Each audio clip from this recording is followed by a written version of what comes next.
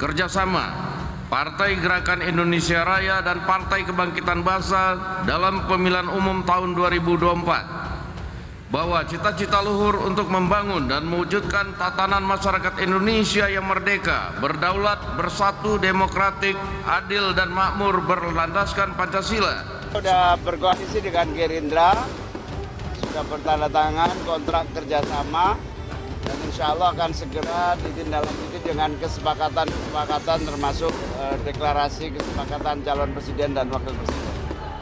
Yang penting kita menang. Menang untuk apa? Menang untuk menyelamatkan masa depan bangsa Indonesia. Pokoknya sampai hari ini teman-teman masih berjuang agar Gus Muhaimin jadi calon presiden. Itu belum berubah. Karena itu mandat muktamar dan pertemuan ke tadi kemarin juga itu. Berupaya agar Gus Muhaimin tetap menjadi calon presiden sebelum janur nanti melengkung dalam koalisi. Prabowo sudah dideklarasikan. Artinya Prabowo sudah pasti jadi capres. Lalu apa namanya lawan politik akan mencari titik lemah dan kesalahan-kesalahan dari Pak Prabowo.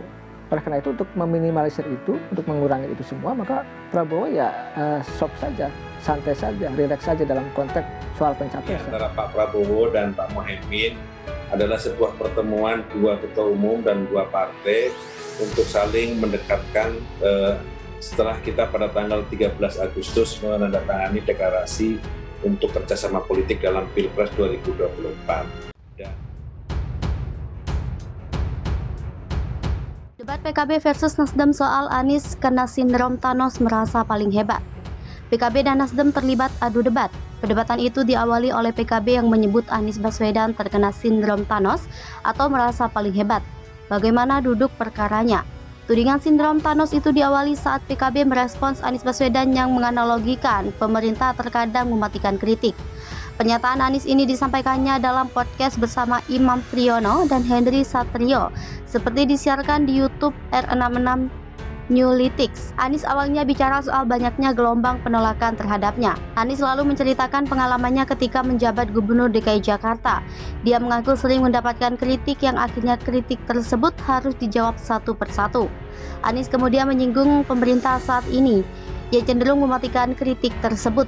Dia mengaku heran lantaran kritik itu sesungguhnya edukasi publik selama bukan hoax dan ujaran kebencian. Sindrom Thanos PKB lantas melempar kritikan terhadap Anies. Juru bicara muda DPP PKB Dira Martamin menyebut Anies tengah terkena sindrom Thanos. Menurut Dira, pemerintah di bawah komando Jokowi sangat terbuka dengan kritik. Dia mengungkit Jokowi pernah meminta masyarakat aktif mengkritik pemerintah, tepatnya dalam pernyataan pada Februari 2021 lalu. Kemudian Dira menyinggung pernyataan mantan Wakil Ketua DPR Fahri Hamzah yang mengungkapkan bahwa Presiden Jokowi pernah menanyakan kenapa oposisi saat ini lemah. Dira mengatakan pemerintah saat ini justru menginginkan lawan tanding yang seimbang. Demokrat ungkap faktor yang mungkin membuat publik bosan ke Anies. Tiketnya belum utuh. Partai Demokrat cukup memahami bila publik merasa bosan dengan narasi perubahan. Termasuk bila ada pandangan yang menyebut kenaikan elektabilitas Anies Baswedan sebagai capres terjadi sesaat sebagai efek euforia pencalonan oleh Nasdem beberapa waktu lalu. Menurut Deputi Badan Pemenangan Pemilu Partai Demokrat Kamhar Lakumani, kedua hal itu mahfum terjadi lantaran narasi yang saat ini disampaikan Anies masih terbatas. Diketahui, sejauh ini baru Nasdem yang sudah secara resmi mengusung mantan Gubernur DKI Jakarta itu sebagai capres. Sementara itu rencana pembentukan koalisi perubahan oleh Demokrat, Nasdem dan PKS tak kunjung terrealisasi. Kamhar meyakini bahwa narasi yang disampaikan Anies akan semakin berkembang bila koalisi tersebut resmi terbentuk. Meski begitu, Kamhar menyatakan Demokrat hingga kini masih terus mendorong ketua umumnya, Agus Harimurti Yudhoyono, untuk mendampingi Anies sebagai calon wakil presiden. Menurut dia, bila keduanya dideklarasikan sebagai pasangan calon, akan semakin menambah penegasan antitesis pemerintahan Jokowi. Sebelumnya diberitakan pengamat politik dari UIN Syarif Hidayatullah Adi Praitno menilai naiknya elektabilitas Anies Baswedan menurut survei berbagai lembaga merupakan imbas deklarasi pencalonan presiden yang diumumkan Nasdem pada awal Oktober lalu. Momentum deklarasi pencapresan Anies dinilai tepat karena berdekatan dengan lengsernya dia dari kursi Gubernur DKI Jakarta. Namun demikian, Adi menduga naiknya elektabilitas Anies merupakan euforia sesaat.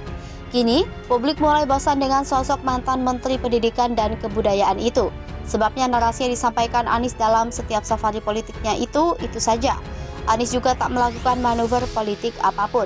Sebagai figur yang lekat dengan citra oposisi, Anies hampir tidak pernah menentang atau mengkritisi kebijakan Presiden Joko Widodo secara terbuka. Padahal basis masa Anies datang dari kalangan yang kontra terhadap Jokowi. Bawaslu sebut Anies tak etis. Demokrat tegur pejabat yang pasang baliho ingin nyapres. Koordinator juru bicara Partai Demokrat Herzaki Mahendra Putra meminta Badan Pengawas Pemilu untuk menegur pejabat yang melakukan kampanye terselubung dengan memasang wajah di mana-mana.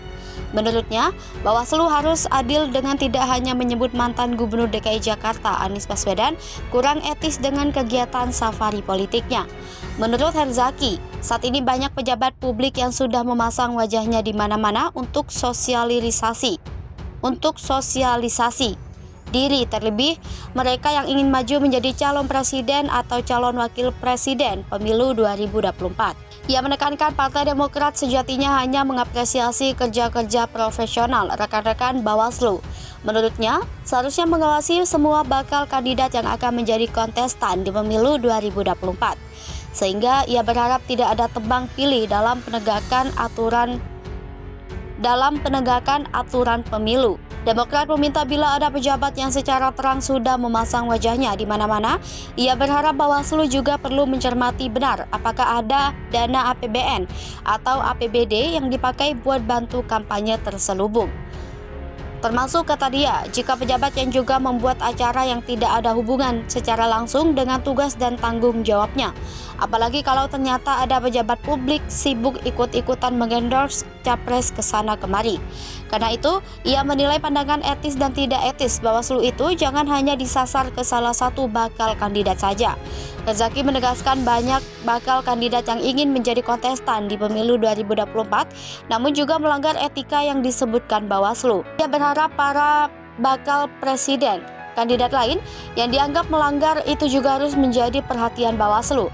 Sebelumnya, Bawaslu menyatakan kegiatan safari politik yang dilakukan bakal capres Partai Nasdem Anies Baswedan tidak etis jika ditinjau dari sisi etika politik. Sebab kegiatan tersebut merupakan kampanye terselubung. Sebab Bawaslu menilai publik telah mengetahui Anies Baswedan merupakan bakal capres yang diusung gabungan partai tertentu. Dengan begitu publik tentu bisa saja memaknai safari politik itu sebagai kegiatan kampanye untuk meningkatkan elektabilitas Anies.